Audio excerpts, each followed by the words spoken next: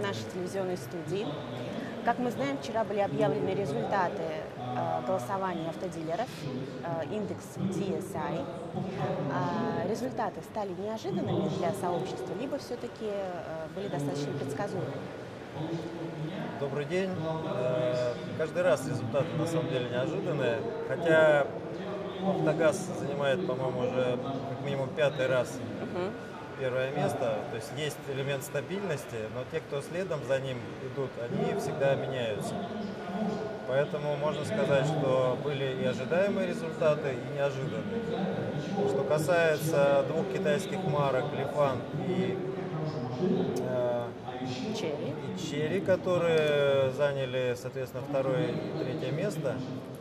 Э, это была такая приятная неожиданность, э, потому что была борьба там немецких марок, японских марок, то, что появились китайские сразу на двух местах премиальных. Это действительно очень такой факт знаменательный для нас. А, индекс DSI обозначает удовлетворенность автодилерами а, работой импортеров и представительств, правильно? Да, это Dealer Satisfaction Index, который был задуман именно как некая обратная связь со стороны дилеров э, в адрес производителя. Производители нас очень регулярно оценивают, и это правильно. Э, но мы подумали, что было бы полезно и им также получить обратную связь о том, как дилеры видят со своей стороны э, работу производителей, потому что если говорить так, что мы работаем с конечными клиентами э, в сегменте B2C, то для производителей мы являемся также в каком смысле клиентами в сегменте B2B. Им, наверное, тоже интересно знать, что думают о них их потребители. Да, совершенно верно. Но голосование же проводится не первый раз, да? Это был уже 13 Это был 13-й наш э, индекс DSI, да, так что процедура довольно отработанная уже. А, давайте напомним нашим зрителям, что первые три места распределились у нас ГАЗ, Лифан и Черри. Черри а, Исходя да. из этого мы делаем вывод, что китайские автопроизводители все-таки а, смогли наладить и улучшить какие-то коммуникации со своими дилерами, да, со своими партнерами, таким образом, что это позволило им а, занять топ-рейтинга в а, индексе по уровню удовлетворенности работой. Да, совершенно верно. У нас э, пять разделов. Угу Э, в оценке, и мы стараемся достаточно объективно оценить э, работу производителя под разными ракурсами. Но в конечном итоге, конечно, те места, которые распределяются, они по большому счету означают, насколько дилеры довольны своим сотрудничеством с производителем. Поэтому мои поздравления этим трем маркам. А, то, что дилеры действительно им нравится работать с этими производителями. В течение года у нас на Автостат.ру выходила серия интервью с китайскими а, производителями, и практически прошлого года, практически все они анонсировали, что весь год у них будет посвящен а, улучшению коммуникации с дилерами и а, укреплению позиции вот их дилерских сетей. А практически каждый из них объявлял о введении каких-то единых стандартов, а, Э, и прочее, то есть что, что позволило бы консолидировать как-то эту дилерскую сеть.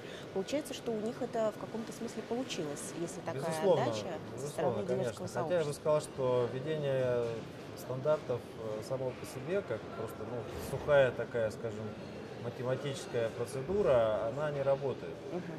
Сама по себе. То есть это всегда э, по большому счету взаимодействие конкретных людей, то есть какие-то личные Э, производственные отношения конкретных менеджеров, и именно это позволяет э, достигнуть вот успеха и комфортного общения в работе, что, наверное, дилеры очень ценят.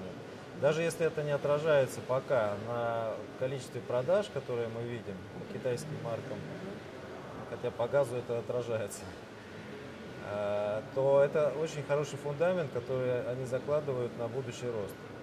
Европейские компании также участвовали в этом рейтинге, и дилеры европейских автопроизводителей, э, американских марок и прочее тоже голосовали. Правильно? Безусловно. Э, дело в том, что оператор этого опроса, этого исследования, компания Ernst Young.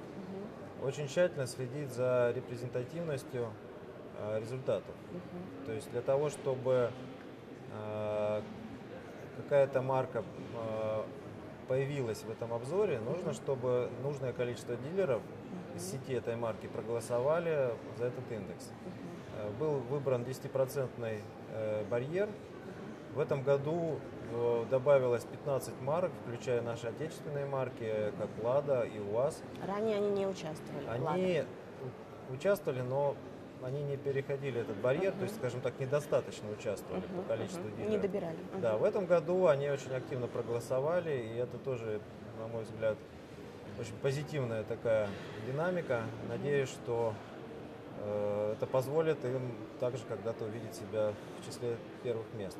Ну остается только пожелать успехов и Ладе, и китайским фотопроизводителям дальше работать над э, Я думаю, что такими успеха надо пожелать всем нашим производителям, всем нашим дилерам успешно работать.